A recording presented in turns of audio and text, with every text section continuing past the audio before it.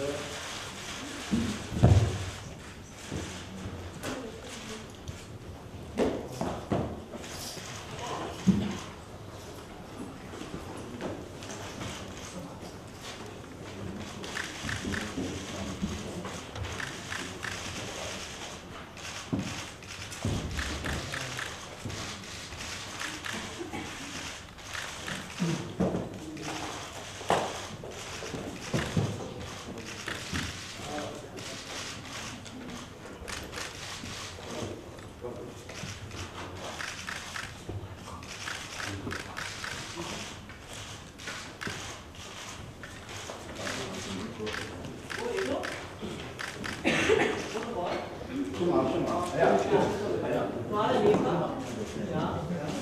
Če lahko nekoliko počakate, da kolegi režijo kamere, to je drugačna scena. Hvala. Spoštovani kolegice in kolegi, dragi gostje, lepo pozdravljeni, dobrodošli v dvorani Uzamunda v Novi Ljubljanski banki. Malo bomo še počakali, da eh, kolegi fotografi upravijo svoje delo do konca.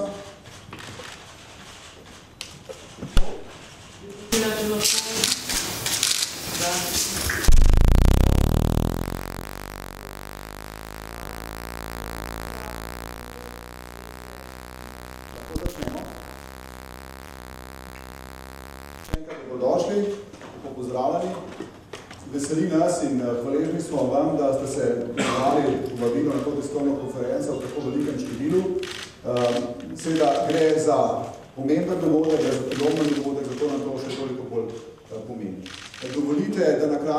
predstavim današnje gostitelje in uvedem um, to srečanje.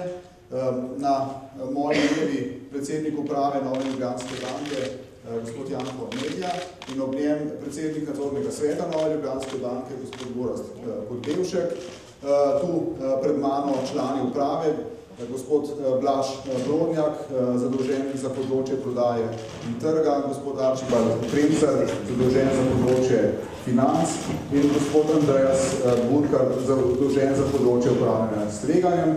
Eh, Moje ime je Jurij Bekomeli, sem generalni sekretar eh, Nove Ljubljanske banke. Ta dogodek je seveda predvsem namenjen um, komunikaciji povezani s nerevidiranimi poslovnimi rezultati minulega leta. Uh, na kratko uh, jih uh, bomo skupaj pregledali uh, in uh, v zvezi s tem bi vas rad upozoril, da so te informacije tudi že pred vami v tejle špirali povezane, se pravi prezentacija, ki jo boste danes slišali in seveda nerevidirano poročilo o finančnih izkazih.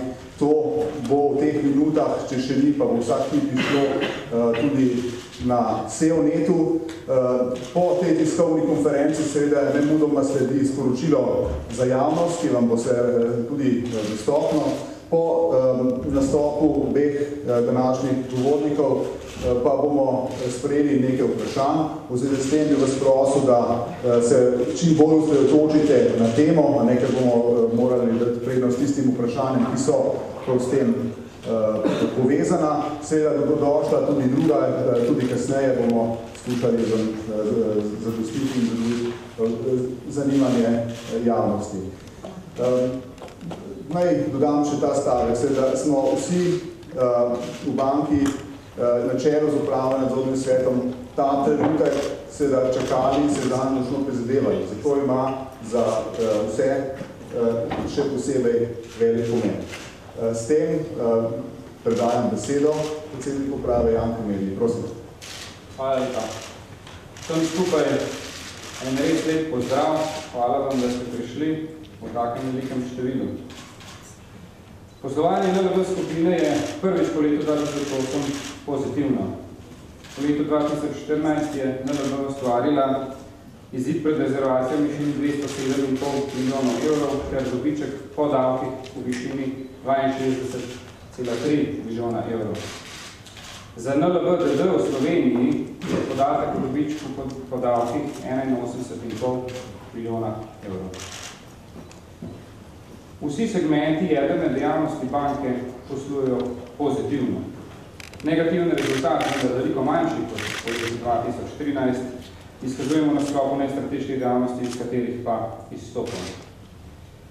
Za NLBDD v Sloveniji bi ponosno poudaril, da je na področju kreditiranja nebančnega sektorja povečala tržni delež za 1,1 odstotno točko, enako vela za podkategorijo posojil podjetjem, povečanje tržnega deleža za 1,1 odstotno točko, pri posojilih prebivalstvu pa za nič 6 odstotne točke. Banka je povečala tudi tržni delež na področju depozitovne bančnega sektorja za nič cele tri odstotne točke.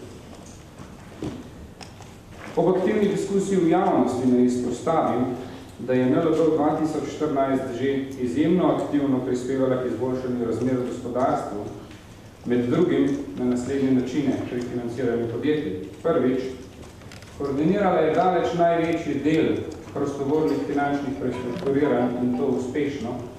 V več kot 43 primerih po številu je bila agent ali koordinator in ta, ti primeri so zajemali podjetja, kjer je bilo več kot 60 odstotkov prestrukturirane zadolženosti in več kot 60 odstotkov zaposlenih iz tega seznama 30 velikih. Drugič, organizirala je vse nove sindicirane, vsa nova sindicirana posojila za slovenska podjetja v letošnjem letu z izjemo enega. Imena, ki smo jih tudi objavljali, recimo vključujejo Gorenje, Tušmobil in Iskro skupaj v obsegu okrog 300 milijonov evrov. Tretjič, dosti krat prezrto, podjetjem smo ponudili in pomagali pri financiranju tudi z organizacijo izdaje dolžniških vrednostnih papirjev. Številka je dosegla Eh, malo manj kot 200 milijonov evrov. Gre za komercialne zapise, korporativne dolžniške eh, papirje, omenjena podjetja, recimo, ki so lahko tudi Telekom in Gorenje.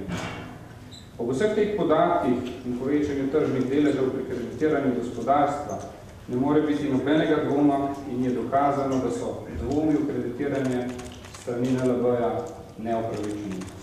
Ob tem bi rad izpostavil, da so javno obravnavani dvomi praktično vedno, brez konkretnih imen poslov ali podjetij, da bi lahko konkretno in strokovno presodili resnično kreditno sposobnost tistih, ki se pritožujejo.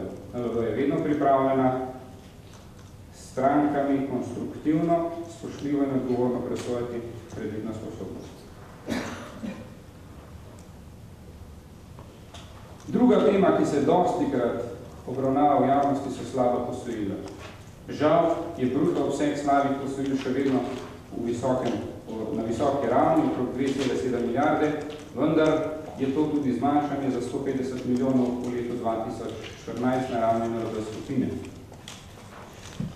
Povedati je treba, da slabih kreditov nerezidentov nastalih v dolgo, dolgo leta nazaj seveda nismo mogli prenesti na slabo banko. Dejstvo pa je, da zaradi poostrenih zahtev regulatorjev v zadnjih dveh letih tudi zniževanje celotnega obsega poteka počasneje kot prej, saj se več posojil kot v preteklosti po novih zahtevah razvršča v status slabih kreditov. V NLB je znano in je dejstvo, da so za slabe kredite že oblikovane slabitve v višini 1,7 milijarde evrov, za preostanek, torej okrog milijardo evrov, so posojila v praktično popolni meri zavarovana in iz tega NLB ne pričakujemo velikih vplivov na rezultat v prihodnih letih, glede na to, da strokovno in sistematično in aktivno upravljamo s portfelje slabih kreditov in je pred nami jasno položen plan za zniževanje teh obsegov slabih kreditov v prihodnih letih. Naj nadaljujem nekaj minut z razlago izboljšanja rezultata pred rezervacijami kot tistega kazalca poslovanja banke, ki v največji meri ponazori vzdržnost poslovanja na dolgi rok, kar je tudi naša vizija in naša naloga.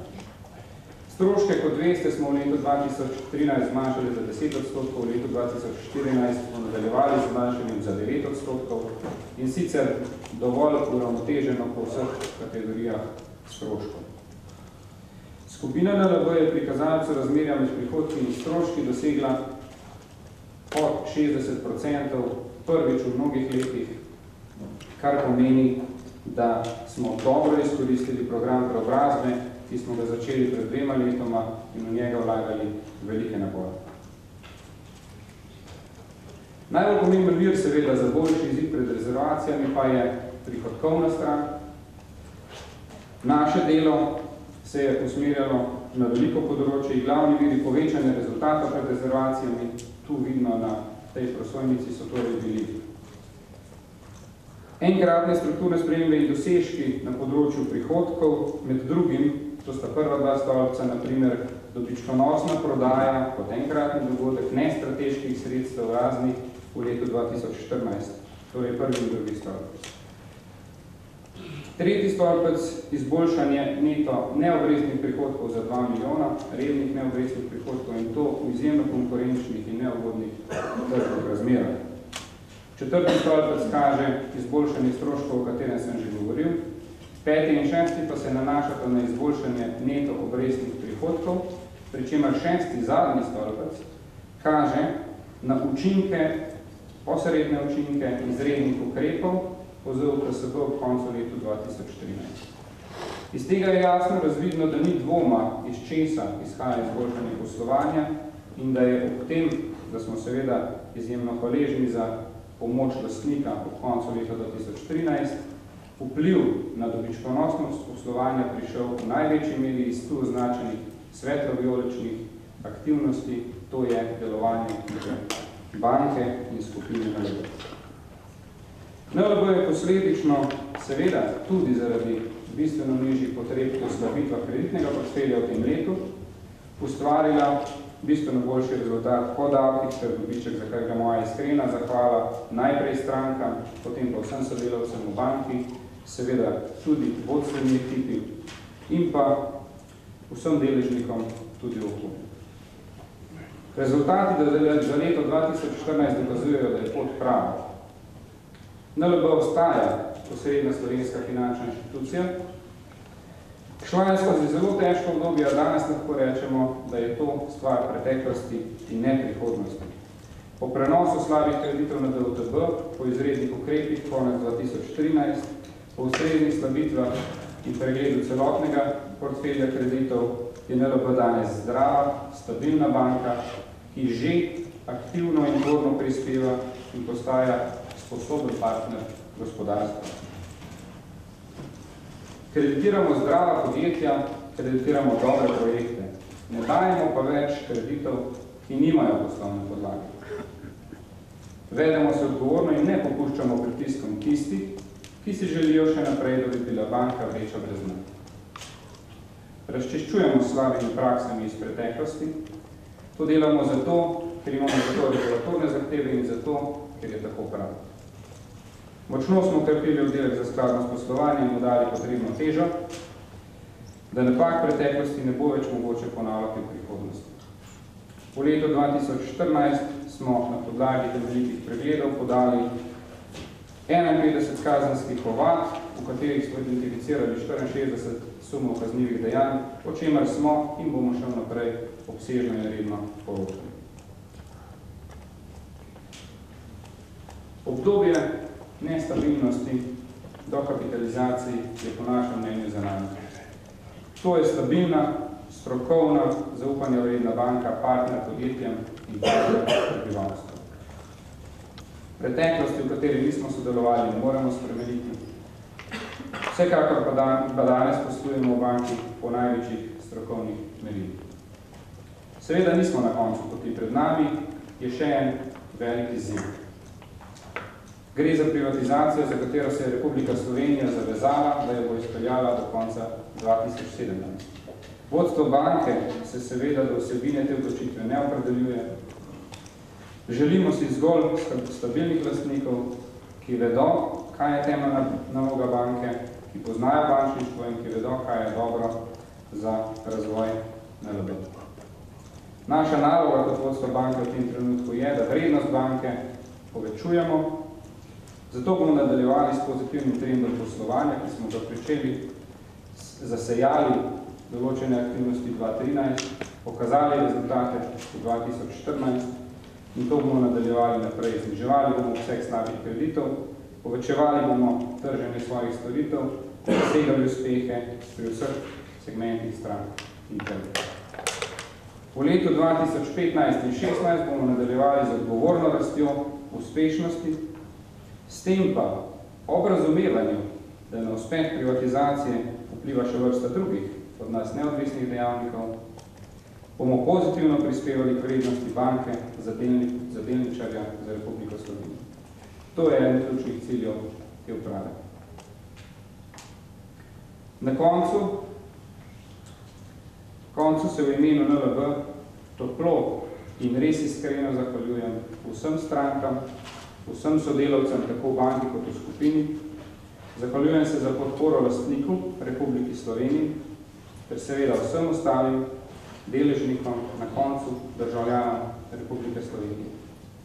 Hvala vam za zaupanje, ki ste, ga, ki ste ga imeli v banko tudi v najtežjih časih. Hvala.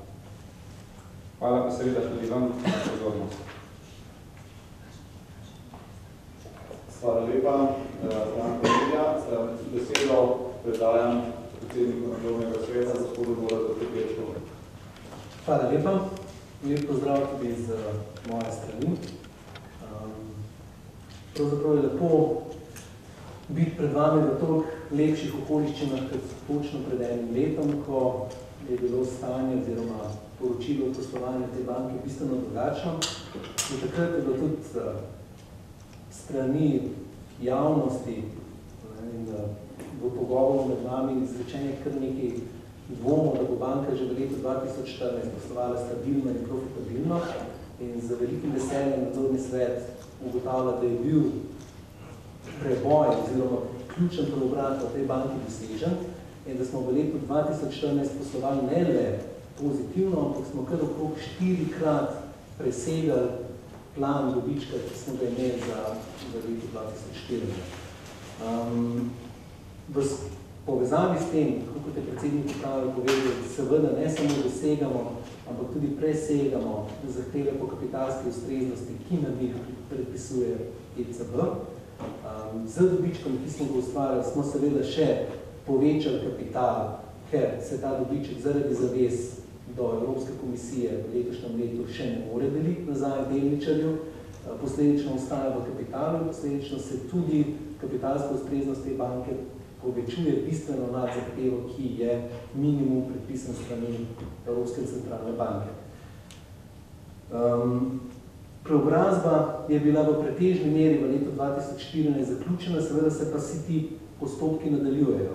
Vse te pozitivne sporočila in dobre rezultate, ki imamo danes možnost predstaviti, nikako ne pomeni, da je bilo leto za nami lahko. Leto je bilo težko, tržne razmere v bančnem sektorju so zaostrene in se še vedno zaostrujejo. In ta banka in ta uprava in vsi zaposleni so morali pravzaprav žonglirati hud boj za posel z hkratnim prestrukturiranjem aktive, o kateri vsi veliko vemo in govorimo, ki pač izhaja iz preteklosti, in še preobrazbo banke in vse projekte prestrukturiranja, ki so del strateškega plana. Vse to nam je odlično uspelo, In um, uprava je izpolnila cilje, ki so bili znotraj letnega plana in uh, ključnih kriterijev uspešnosti uprave določenih do nadzornega sveta. In ta banka je izpolnila vse zaveze, ki jih je imela do Evropske komisije uh, v smislu prestrukturirane banke. Zato se tudi v imenu nadzornega sveta jaz zahvaljujem vsem zaposlenim in upravi za, za uh, uspešno leto, ki je za nami. Um, zaključil bi s tem, kot tudi predsednik uprave, da je banka zdaj stabilna, da je banka zdaj dobičkonosna in da je banka kot taka tudi pripravljena na zelo zahtevan in tudi dolgotrajen proces privatizacije, ki se uh, lahko začne oziroma ki se bo začel takrat, ko bo pač delničar tako uželo in tako odločil. Hvala lepa. Lepa, gospod Podrevšek, nastopil čas za vprašanja, lepo bi prosil, če pač nekratko se predstavite in poveste, kateri mediji zastopate. Um, vidim pa, da je prva dvina roka gospa Maja Grbič, prosim. Maja, za te delo, jaz imela... Za, zaradi prevajanja lepo prosim um, mikrofon to uh, tako uh, storite, da pritisnete največjo tipko. Hvala. Maja, da te delo. Uh, jaz imela vprašanje v bistvu za oba. Um, najprej za gospoda Medel, Medel rekli ste, da se uh, vseh slabih postojil se znižalo. Koliko to zdaj v deležu še zmanjša, to še vedno okoli 20 odstotkov in kakšni so načrti za letos, ali pričakujete, da se bo letos vseh slabih postojil še zniževal?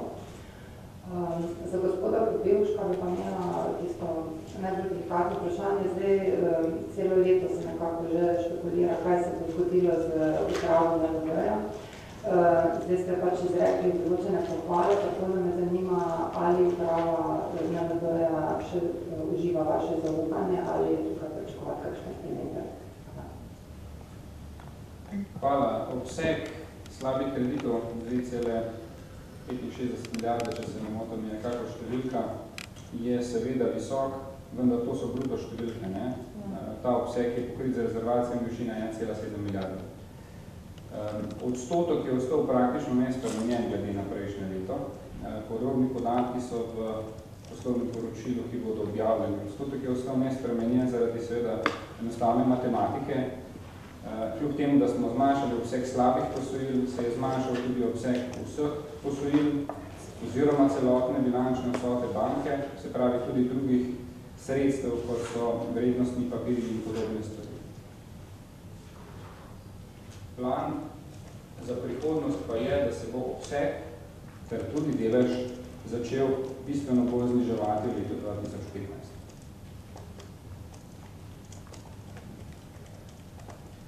Okay, še jaz. Um, kot sem rekel, banka je poslovala dobro, uprava je po našem mnenju poslovala dobro, popolnoma nobenega razloga ni, da bi ta nadzorni svet želel kakršnekoli spremembe v upravi. Edina sprememba, o kateri smo razmišljali, in to lahko povem, je morebitna dopolnitev uprave z novim COO, se pravi članom uprave za operativo, ki bi nadomestil gospoda Motazeda, ki je žal odšel. Pa tudi na tem področju smo ugotovili, da je primo predaja, kot je bila izvedena z prenosom pristojnosti gospoda Motazeda na ostale člane uprave in z ujančanjem tako imenovanega B-1, se pravi nivoja drugega menedžmenta pod upravo, popolnoma ustrezno pokrila vodstveni proces v banki, in v kratkem roku kakršnokoli dopolnitev te uprave ni planirano. Tako da ja, ta nadzorni svet zaupa tej upravi. Hvala. Gospod Milenkovič je bil naslednji potem pa je Reklankovič. Marko Milenkovič, povtede. Um, zdaj vprašanje, še vedno, za to, gospod Medija, še vedno nisem si šlo, koliko v odstotku slabih postoji? Ravno skupine, uh, okrog 25, na ravni DD-ja, na trenutek okoli 21. Okay, najlepša hvala. Zanima, če lahko poveste o, o načrtih za naprej, pač banka je po petih letih spet dobičkonosna, kakšni so plani za naprej. Pa še eno vprašanje, v bistvu za ovadba, sami ste razkrili, da ste dali kar precej ovadbe zaradi številnih kaznivih dejanj v preteklosti. Če lahko poveste malo več o tem, ali ovade tudi kdo iz, pač za katero raven, na katero raven menedžmenta se nanašajo te ovadbe, z kakšne kaznivo dejanje, pač karkoli lahko poveste. Hvala. Kar se tiče načrtovanja poslovanja za naprej, smo temeljito analizirali tako gospodarsko okolje kot spremembe v regulativi, ki se dogajajo in pričakujejo. Naš načrt trenutno predvideva postopno, kako ne temu rečem, single digit, ne? se pravi postopno izboljševanje dobičkonosnosti poslovanja tudi v naslednjih letih. To je posebej pomembno seveda tudi zaradi morebitnega procesa privatizacije, v katerem ni najbolje, če imaš preveliko volatilnost, ampak je najbolje, da po kvartalih poskušaš pokazati čim bolj stabilno, počasno, odgovorno izboljševanje, tako da to je trenutno naš načrt. Kar se tiče razčiščevanja za preteklost, številke so bile povedane, Sumi kaznivih dejanj se nanašajo v približno polovici primerov na zunanje osumljence, v približno polovici primerov na pretekle notranje in v tem primeru na vse možne nivoje.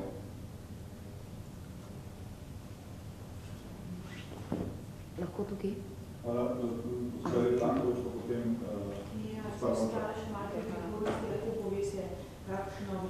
Bo prosim mikrofon. Ja. Uh, za letos me zanima, oziroma za 2014 najprej bilančna vsota, koliko se je skrčila, koliko načrtujete za letos, pa za letos še tržni delež, pa poslovni uh, ničel, koliko ga načrtujete za letos.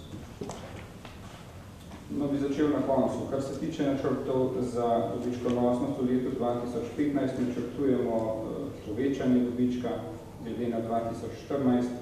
Kot rečeno, smo konzervativni in previdni, tako da povečanje, ki ga pričakujemo, ni previsoko. Uh, v letošnjem letu pričakujemo recimo kar nekaj zelo napornih novih stroškov od regulative uh, skladov za razgradnjo bank in skladov za zaščito depozitov in razno raznih drugih. Pričakujemo pritiske na prihodkovni strani, naprimer uh, padanje marš na kartičnem poslovanju, ki ga narekuje direktiva Evropske unije, so primeri tovrstnih pritiskov. Tako da banka bo morala delovati izjemno dobro na optimizaciji stroškov in na iskanju novih poslov in oblikovanju novih prihodkov, da bo lahko dosegla plan, to je manjše povečanje dobička na koncu leta. Bilančna vsota uh, v letu 2014 se je bilančna vsota zmanjšala iz 12 milijard in pol na 11,9 za skupino NLP. To zmanjšanje je skladno z strateškimi usmeritvenimi banke, ki predvidevajo, da bi banka uh, imela bilančno vsoto na koncu 2017, ki bi obsegala približno 11 milijard. Torej, zdaj smo na 11,9. Uh, Pri tem bi samo poudaril, zmanjšanje je ciljeno na nestrateške dele banke, iz katerih izstopamo in naš načrt omogoča um, eno številčne odstotne rasti poslovanja na vseh jedrnih dejavnosti.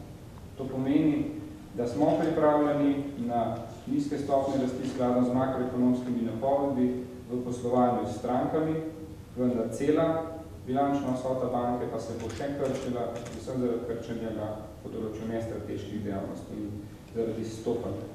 Pri tržnih deležih ocenjujemo, da bomo s takim načrtom uspeli zadrževati tržne deleže na svojih ključnih segmentih, tako v Sloveniji kot na, na trgih čelinskih bank. Ponekod bomo lahko tržne deleže tudi malenko smo povečevali, ne bi pa mogel tega trditi v splošnem ne pričakujemo pa recimo nekega bistvenega padanja tržnih deležev, čeprav moram poudariti, da je v tem obdobju zaradi veliko razlogov, ne nazadnje, pa tudi privatizacije, naš osnovni cilj dobičkonosnosti in netržnih deležev. Hvala, gospod Lončar, prosim. Ali koga brez Lahko k meni stopite tukaj oziroma tam pravi nekaj. Aha, okej. Ja, Ja, Andrej, Rešali, časnika finance.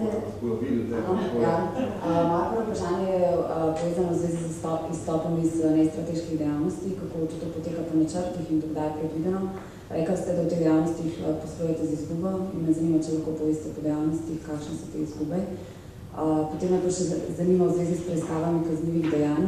Viceguvernerka Banke Slovenije Mera Festič je ta teden v državnem zboru izjavila, da banke podajo precej nepopolne kaznijo kazenske ovadbe in da s tem v bistvu tratijo čas tožilcev, oziroma rekla je, da jih zacipavate. Ni omenila konkretne banke, no, to moram povedati, ampak me zanima, kako to komentirate. Pa um, to je to. Hvala lepa.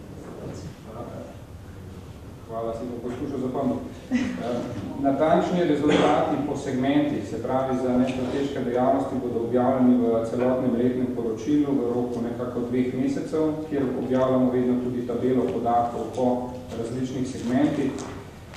Za sedaj lahko ponovim, da je negativni rezultat seveda nestrateških dejavnosti bistveno manjši, bistveno, bistveno manjši kot 2013 in če bi imeli to segmentacijo tudi kot 2012 verjetno.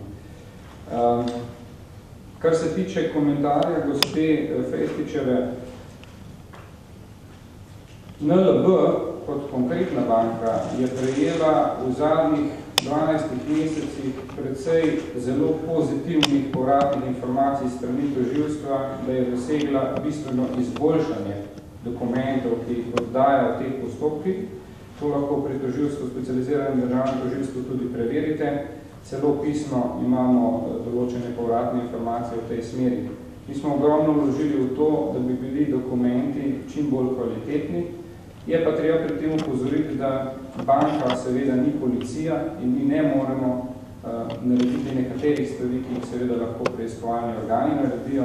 To pomeni, da če ne moraš biti prepričan, kdo je kakšno kaznivo dejanje storil, pač ne moraš imene navesti.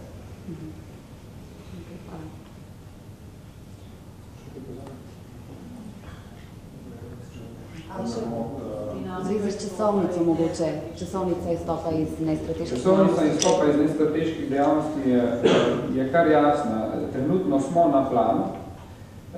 Predvsej veliki deli, se pravi izviševan iz vidika zmanjševanja bilance, pa pridejo na vrsto 2015 in 2016. Hvala. Ne bo šlo odprti se dejavno posebej, pa potem bom dal še enkrat gospodu Milinkovič, ampak potem bom neki čas sklepal, da se ponavljamo ne? in uh, bomo počas zaključili, tako da še kolegica Milinkovičeva se javlja tudi meni, tako da če ne bo posebne nuje, bi, bi tako počas zaključil. Ja. Dobro dan, Petro Slovenija. Mene zanima samo še mogoče, koliko je bilo kakšnih počkodninskih točk pod nekdanjih upravi in koliko denarja je bilo recimo porabljeni za to, če so bili seveda vloženi? Nekaj očkodninskih točk je bilo vloženih. O njih ste mediji že kar nekaj pisali, tako da ne bi ponavljal.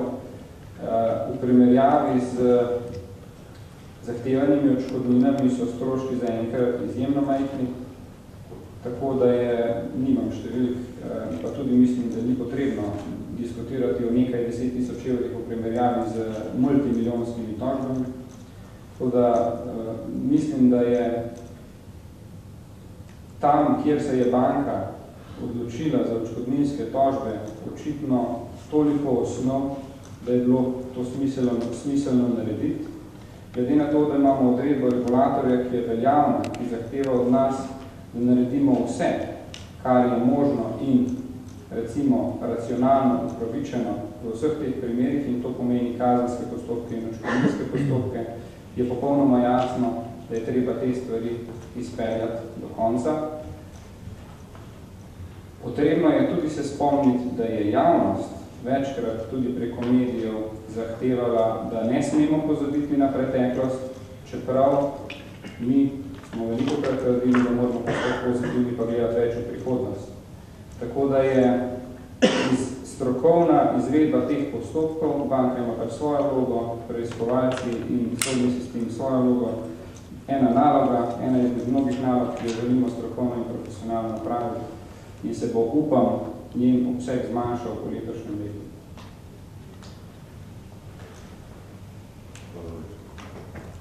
Ja, Marko Milenkovič, jaz sem hotel samo eno pojasnilo, v bistvu, z, z rekel, pač niste hoteli v, v podrobnosti glede kazenskih ovad, pa me zanima, lahko vsaj poveste, koliko jih je proti konkretnim osebam in koliko jih je proti neznanim storilcem. Ovadenih je bilo konkretno 62 oseb.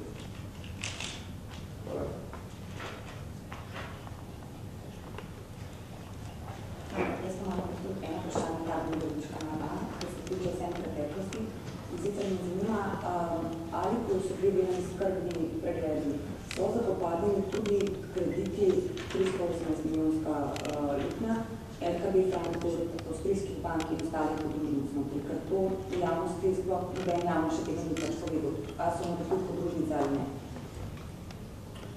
Seveda, v obeh 2013 in 2014 skrbnih pregledih je regulator oziroma so izvajalci eh, pregledov obdelali celotno bilanco skupine NLB, če tako, če tako rečem. Tako da ničesar ni bilo izpuščeno, ampak je seveda skrbni pregled na koncu podajal mnenje na celotno bilanco skupine NLB, kar pomeni tudi hčerinski, hčerinski. Ali pa če večina teh slabih kreditov izhaja morda iz teh podružnic? Zelo velik del slabih kreditov izhaja iz uh, nekaterih podružnic. Ja, je pa tudi res, da so nekatere podružnice oziroma banke uh, v bivši Jugoslaviji, ki nikdar niso bile del tega. Ne? Se pravi, imamo tudi nekaj zelo zdravih čerenskih bank, ki nikdar niso imele visokih deležov slabih kreditov, medtem ko nekatere banke in nekatere finančne inštitucije, kot ste jih omenili, ne? LHB je med njimi, so pa imele izjemno visoke deleže slabih kreditov. A lahko bi tako, kakšen delež je bil recimo LKB Zdaj pa nimam, se pravi, čujem tudi podatke.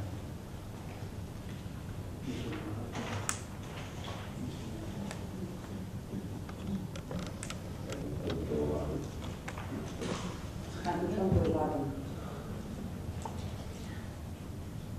Um, v LKB-ju je bilo izvedenih kar nekaj pregledov in tudi na koncu določena pravna mnenja. Nekateri postopki so pa še v teku in jih ne bi mogel komentirati. Naša centralna banka ima mislim, lahko dobi podatke teh podružnic, ali so to zadolžene centralne banke tistih političnih držav? Um, Centralna banka lahko dobi vse podatke. Prišli so zunanji izvajalci in so dobili neposredne podatke iz vseh odvisnih družb, kar je pa mogla zagotoviti NLB, DD se pravi kot krovna družba. In če jim kjerkoli podatka ne bi mogli zagotoviti, bi ocenili tveganje kot maksimalno in prikazali tudi, tudi ustrezen vpliv na aktivo. Tako da vsi ti stresni testi so stresni testi, kot je rekel predsednik uprave in presoje aktive, skupine NLB, ne samo NLB, ATD, in zajemajo tudi um, te slabe terjatve, v veliki meri so to slabe terjatve v skupini, kjer, tako kot je tudi že predsednik omenil, nismo mogli narediti prenosa na DUTB, ker je bil DUTB predviden izključno za prenos terjatov do rezidentov, se pravi do slovenskih subjektov, in so vsi tisti iz preteklosti slabe terjatve ostale v, v NLB skupini, poleg tega pa tudi zlasti v nestrateškem delu ta odstotek slabe aktive bistveno, bistveno, bistveno večji, kot je v NLB-DD. Ja, dodal morda na koncu, da so vsa ta žarišča, ne, ki se omenjajo od LHB-a do posameznih, recimo, čerinskih bank in drugih eh, delov skupine NLB, eh, že bila dobro prevetrena in pregledana in za prihodnje je izjemno pomembno poudariti, da se seveda te stvari ne morejo ponavljati. Naprimer, v primeru LHB je banka praktično zaprta, licenca je bila vrnjena, tam ostaja samo še par pravnih postopkov in tudi pri drugih entitetah, ki so seveda tako uh, v, v načrtu zapiranja ali so že zaprte, velja enako. Ne. Tu se ne more v prihodnosti dogajati tisto, kar se je očitno preteklosti. Samo še Vi spite za vsemi letnimi poročili kot pač predsednik uprave od 2012 naprej. Jaz sem tu od 1. oktobra 2012, tako da eh, v tem času sem pač podpisal letno poročilo. Hvala lepa. Zadnje vprašanje v tem trenutku bo pripravil gospod Ševi Brankovič, ker ne pomeni, da je to sve zadnje vprašanje sploh. Dobrodošli ste, da jih posredujete naknadno in bomo vam seveda skušali tudi ustreči. Smo pa nekoliko časovno omejeni, da bomo morali več počas zaključiti. Prosim. V bistvu vprašanje glede prihodnosti. Sicer s 1. marca začne Evropska centralna banka z odkupom obveznic, uh, konkretno pri nas uh, naša banka Slovenije. Uh, kako bo po vašem mnenju potekalo in ali boste vi zainteresirani sprav za prodajo? Dovolite mi, da tu pa poprosim kolega Arčibald za, za strokovno odgovor. Well, as you know, the central bank will just uh, um, participate in the, in the ECB program, but they would just appear as a regular market participant, and uh, it's their buying decision, and it's anyone else's selling decision, and there is no direct implication for us as on this matter.